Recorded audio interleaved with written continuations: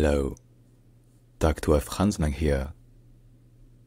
Nazem Kadri is a Canadian professional ice hockey player known for his skills as a center and his time with the Colorado Avalanche. He is of Lebanese ancestry.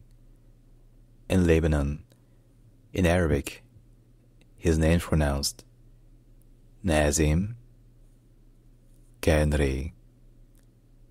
Nazim Kadri. Nazim Kadri. Alright, if you enjoy learning our pronunciations, don't forget to subscribe to my channel for more pronunciation guides from around the world. Join me on this linguistic journey and stay tuned. Tschüss.